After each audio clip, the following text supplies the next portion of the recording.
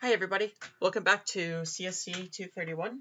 Today we are going to talk about something called arrays, and in order to talk about this I have brought out a document camera so that I can explain some of the sort of ideas behind arrays and some of the mathematics that we'll be using arrays to talk about. So an array, really all an array is, is just a method of storing data next to other data.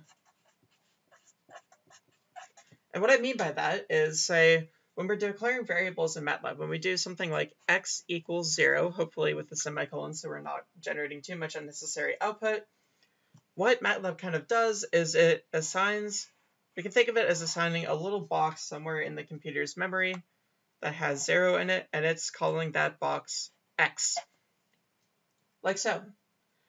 However, when we have an array, we can actually store many things together in a few different boxes under the same name. So for example, we can have our array R, let's call it, I have a few boxes, let's say. Maybe one contains one, two, three, and four, like so. So all of these boxes are given the name R, so you can think of this as an entire pile of boxes kind of standing on top of each other who are all named R. Now arrays are super useful because they're going to allow us to represent some really useful mathematical concepts here. So we'll put this aside for now and start focusing on a little example. So what I've done here is I have drawn a Cartesian plane and we have the point 5, 2 represented up here with an arrow drawn to it from the origin to this line. Now, you may remember from classes such as Calculus 3 or linear analysis if you've taken classes like that, that we can represent this as a vector with a horizontal ma magnitude of 5 and a vertical magnitude of 2. Now there's a couple ways of uh, describing this vector. So one way we can describe this vector is we can put it in terms of i and j where i and j are unit vectors. So i would be the unit vector in the x direction that has a magnitude, a horizontal magnitude of 1 and a vertical magnitude of 0. j, and I'll put the, I'll label this with an i there. j is going to be a vector with a vertical magnitude of 1 and a horizontal magnitude So if we want to represent this vector here with a horizontal magnitude of 5 and a vertical magnitude of 2, we would say that this vector is equal to 5 times i plus 2 times j, like so. Another way we can represent this Another way we can represent this vector is going to call back more towards the linear algebra way where we can use a column matrix like so. Use 5 and 2 like this. And this is a column vector, so this represents horizontal magnitude, this is going to represent vertical magnitude. So if we want to represent a vector using MATLAB, what we can do is use our idea of arrays and holding data simultaneously. So what we can do is we can say that our vector here, this uh, v is going to be assigned to this stack of boxes here, where we'll shove the horizontal magnitude in one of those boxes and the vertical magnitude in the other box. So using arrays for this purpose is actually going to really help us out when we start talking about vectors slash column arrays like this. So the first part of this video, we will focus on something that we call one-dimensional arrays. And all of the examples I've given so far have been one-dimensional arrays. For example, if we take a look at this example here, for R, we can say that this is a one-dimensional array because we have a stack, our little stack of boxes here, and this is only going up in one direction. We can also have a one-directional, we can also have a one-dimensional stack of arrays that goes sideways. So if you think of having boxes like this.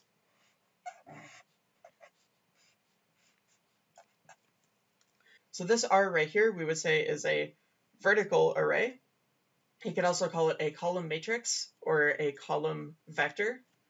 This R right here is a horizontal array or a row matrix or row vector, however you want to say that.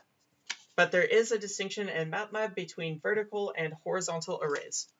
So what you can do if you want to make specifically a horizontal array, well, to put it to make an array in general, you're going to want to separate it out with your square brackets like this. Now on a United States American keyboard, that's going to be right around where your curly braces are as well. Should be somewhere between the enter and the backspace, backspace keys on your keyboard. Now you'll use a square bracket and you'll want to put in the elements that you want inside of this square inside of the square bracket. Now for a horizontal array, what you want to do if you want to make the array containing 1, 2, 3, and 4 is you'll separate those numbers out with a comma. So you have 1, comma, 2, comma, 3, comma, 4, and then we can close this off with a square bracket. And if we set r equal to this in MATLAB, what MATLAB's going to say is that, okay, well, r is going to point to our sideways boxes like it did when we drew it out on the previous page. So R will point to this matrix here. Uh, so R will point towards this array here. If we want to do a vertical array, it will be very similar. We'll say R equals, we'll do a square bracket like so, and we'll start putting in our values. So this will be 1, but instead of a comma, I'll actually put in a semicolon, 2, semicolon, 3, semicolon, 4, square bracket. Note that there's no semicolon needed here. When we're ending the array, we only use a semicolon to separate values in the array. Same with the commas up here. We don't need a comma after the last element of our array. So when we do something like this, maybe put a semicolon after that to make it so that MATLAB doesn't, you know, bombard us with input, then MATLAB's going to say, okay, well now R is going to point at a stack of boxes containing one, two, three, and four, like so. So that's the difference between setting up a horizontal array and setting up a vertical array. So what we'll do right now is pop off and is pop over into MATLAB. So what I'll do right now is pop over into MATLAB to demonstrate what this will actually look like when you're typing it up. Okay, so I'm here in MATLAB and I want to show really the process of creating arrays. So what I'm going to do first is I'm going to start with a horizontal array. So I'll use the same one that I used in lecture just a moment ago. So ARR equals, I'll type in my square bracket like this, 1, comma 2, comma 3, comma 4, and I'll do the other square bracket like so. Now notice how when I type that other square bracket, MATLAB is going to highlight the uh, square, the uh, left square bracket that that went with. So I type in my right square bracket, the left one gets highlighted. And the reason why that's going to be so convenient is if you say have a whole bunch of nested parentheses and arrays and all that kind of stuff, it helps you keep track of which uh, it helps to keep track of which statement you're trying to close out so you know sort of where you are in your large equation. So if I press enter right here, I'm not going to put a semicolon because I want to actually see the output. So I'll push enter and you'll see right here we have r equals, then 1, 2, 3, and 4. They are all spaced out away from each other to show us that, okay, well this is these are actually sort of in their four separate boxes and you'll notice that these are displayed horizontally. Now if I do, I'm going to call it R1 this time, equals 1 semicolon 2 semicolon 3 semicolon 4 bracket. So this one is going to be a vertical, now this one is going to be a vertical one-dimensional array. So I'll hit enter like this, and all of a sudden, now these are being displayed vertically to show us that this is a column or a vertical array, whereas this is a row or horizontal array. Now you'll see over here in the workspace, what we have is we actually have these displayed differently. So the value here is 1, comma 2, comma 3, comma 4, whereas this is 1, semicolon 2, semicolon 3, semicolon 4. So you might have noticed this beige thing that popped up that says this is a 1 by 4 double. What this is saying is that this is a array with one row and four columns that is full of doubles, or like we discussed number, or like we discussed before, that it's full of scalars or just numbers. Whereas this is a 4 by 1, four rows, one column uh, array of doubles, numbers again. And if we type whos right there, we see R size 1 by 4, or one with size 4 by 1. So this actually tells us right away what size, so this actually tells us what direction these arrays are going, whether they're horizontal or vertical, and how many elements are in those arrays. Now, I'm going to put in x equals, let's say, 5, just for comparison right here, and I'll do whos again. So we have our 1 by 4 horizontal array, we have our 4 by 1 vertical array, and we have our 1 by 1 scalar. So a thing that MATLAB likes to actually do is it likes to think of its scalars as actually 1 by 1 arrays, or arrays with only one object in them. And that makes things a lot easier in some cases when it's working with scalars. Sometimes it makes things a little bit harder, and we'll get into the fun little consequences of that as we go through this class.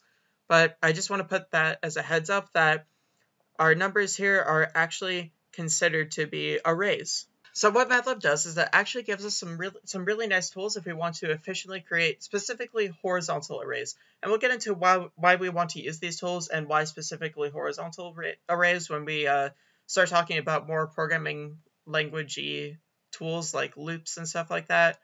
But one thing you can do is that if you want a horizontal array, where you can specify a first element and a last element and the spacing in between all other all the elements in between, then they give this really nice format that I'll show you off right now. So let's say we want to make an array where the first element is 1, the second, uh, the uh, last element is, let's say, 23, and the spacing is 2. So what we would want there is we want the array containing 1, 3, 5, 7, 9, etc., etc., all the way till 21. So we can type in 1 because that's the first element we want. Then we'll type in 2 because that's the spacing between every consecutive element. And then we'll type in 21 because that's the last element that we want in here. And that's going to give us exactly what we want, an array where every consecutive element is spaced 2 apart. The first element is 1 and the last element is 21. Another example is, let's say we want every number that's uh, divisible by 4, starting at 4 and ending at 64. So one thing we can do is we can type in 4, because that's the first element that we want. And because we want everything divisible by 4, between consecutive numbers, we want to put in another 4 right here. So that will take us from 4 to 8 to 12 to 16 and so on and so on. We want to end it at 64. And there's our list right there. So linspace, or linear space, is another function that we can use to construct horizontal arrays, similar to what we did with the uh, whole colon syntax back in back in the previous scene.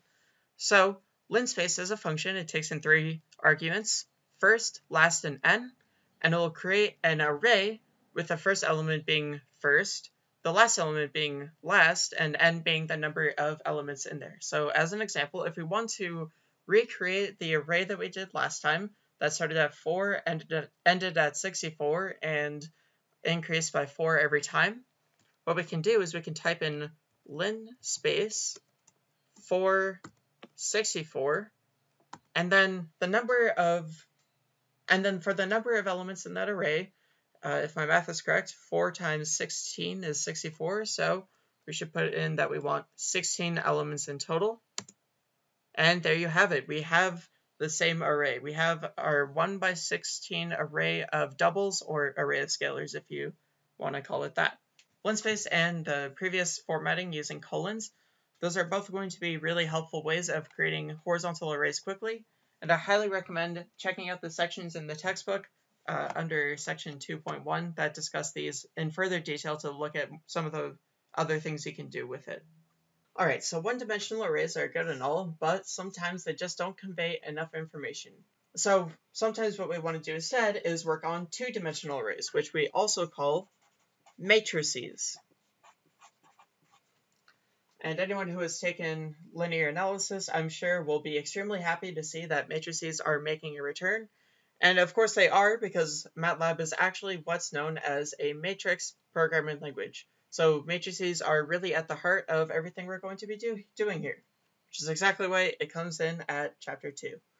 So matrices are really important mathematical structures. They're used for a lot of functional transformations, um, something that you all may not be familiar with, but that is something, but that is actually really important for everyday life at this point, is we use matrices to do things like control what images are put up on your screen and actually transform those images around and do all that kind of stuff. So if you ever have enjoyed a 3D game, like, you know, maybe things like Minecraft, Fortnite, whatever, whatever the kids play these days, you, certainly are enjoying the fruits of many mathematicians' labors with regards to matrices and the transformation of matrices. So we're going to be focusing, focusing on this a lot. Now this right here happens to be a 4 by 4 matrix that has four columns and four rows. And when we try to talk about a specific point on the matrix, we're going to do it in terms of row and then column. So if we want to look at this negative 5 here, we would say that it's on the second row and the fourth column. So we're always going to do row and then column. And just like how we'll always work row and then column when we're talking about certain matrix cells, we're actually going to define our matrices row and then column. So I'll take you back over to the actual MATLAB program to define this matrix here. So let's talk about how to create two-dimensional matrices in MATLAB. And we'll, I'll uh, show an example by doing the 4x4 matrix that I showed on the piece of paper with the docam uh, just a moment ago. So the way you want to create arrays in MATLAB is you actually want to define them one line at a time. And what I mean by that is you will start out your bracket like so, and then you will create the first row as if it was a horizontal array. So we'll do 7, comma, 8, comma, 1, comma, negative 2. But instead of putting a right bracket, we're going to actually do a semicolon to, to tell MATLAB, hey, we have reached the end of this row, let's start with the next one. Then we'll do negative 4, negative 26, comma, 0, comma, negative 5, semicolon because we're done with row 2, 0, 19, 0, 8, semicolon, 8, 3, 7.3, 2. And, we and when we press enter right here, we get our two-dimensional matrix. And you can see that answer right here is a 4 by 4 double, which is exactly what we want. It's a four row, four column matrix. So there's some really helpful functions in order to very quickly create special types of matrices. So the first one is zeros, which takes in two parameters, n and m, both of them are scalars, and it outputs a matrix with n rows and m columns where every entry is zero.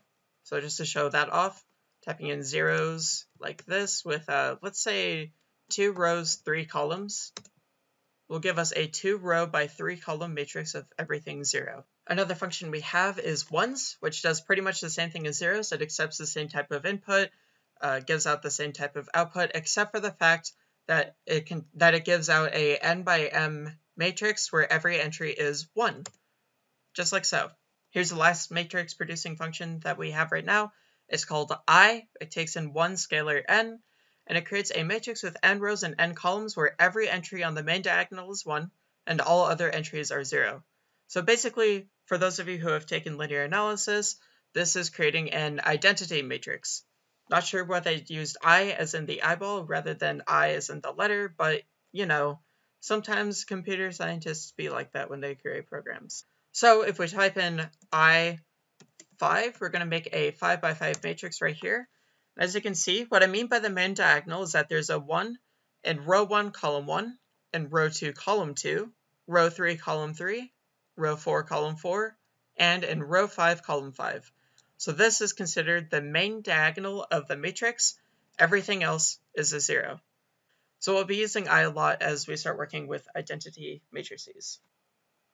So let's say I want to make a column matrix. So let's say A equals 25, 16, 9, 4, 1, something like that. And, oh, okay, so what I've done is I've made a row matrix. I've, I've made a something that's horizontal when I've really wanted it to be vertical.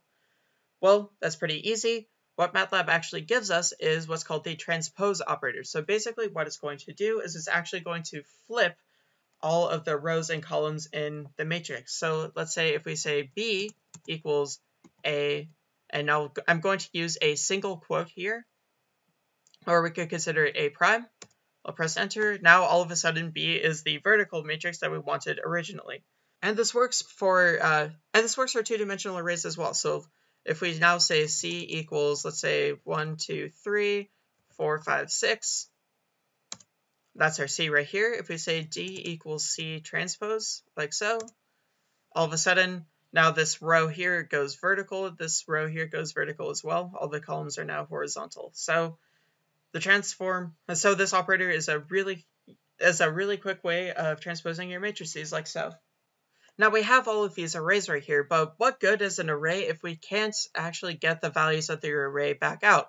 So let's say I want to take a look at what the second value of the array A is. So right up here we can see, so right up here we can say that A is the array containing 25, 16, 9, 4, and 1. So if I want to get the second value out of A, I would be expecting a 16. So the way we would do that in MATLAB is I would say, okay, let me get me the value from A that is at the second position. So I type down the name of the array, and then in parentheses, I put down the position that I want to get the value from, and it will give me the value in the second position of A. And it'll work the exact same way for a vertical array as well. If I want to get, let's say, the fourth element of B right here, so this should be uh, 4, then I'll ask it for the uh, value in B at the fourth position. And that'll give me a back 4, which is exactly what I want. So that's perfect. So let's say I want to get the second, third, and fourth elements out of A.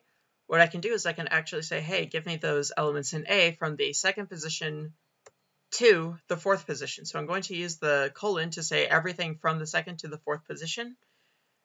And just like that, it will give me 16, 9, and 4 which is exactly what we want there.